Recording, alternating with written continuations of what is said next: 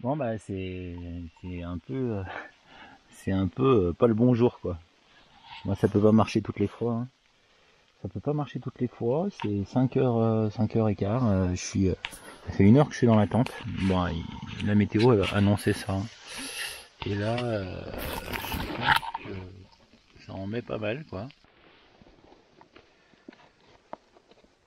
Bon bah je suis parmentier. La neige tombe encore et toujours. Et moi je suis bien au chaud. Et je mange du hachis parmentier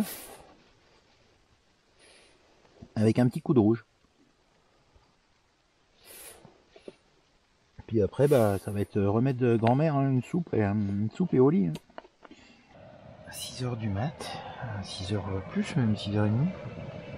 Et euh, les températures de la nuit, elles ont dû chuter, ça s'est arrêté de neiger vers 3h du matin. Et puis ça a fait place à, du froid assez vif, un petit peu de vent. Euh, la tente est bien gelée, doit bien faire un, je sais pas, peut-être moins 10, un peu loin de moins 10. Ça s'est arrêté de neiger vers, euh, vers 3h du matin.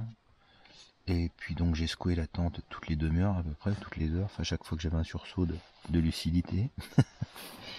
Et puis euh, vers 3 heures du matin, ça s'est arrêté de neiger, enfin j'ai constaté qu'il neigeait plus. Et donc voilà, là, bah, après le froid est bien arrivé avec un petit peu de vent aussi, mais léger, et puis, euh, là il doit bien faire, ouais, il doit bien faire, euh, les, doigts ils gèlent vite quoi, donc il doit bien faire un moins 10 ou alors un moins 5 avec, euh, avec beaucoup d'humidité. Voilà, voilà. Voilà, moi j'ai pas trop de choix parce que le café il est dans le sac, j'ai la flemme d'aller le chercher, mais là j'ai la soupe, la soupe du matin. Ça c'est terrible, ça va bien me réchauffer et puis poil.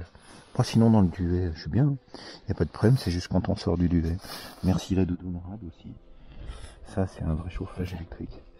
Euh, voilà, avec tous.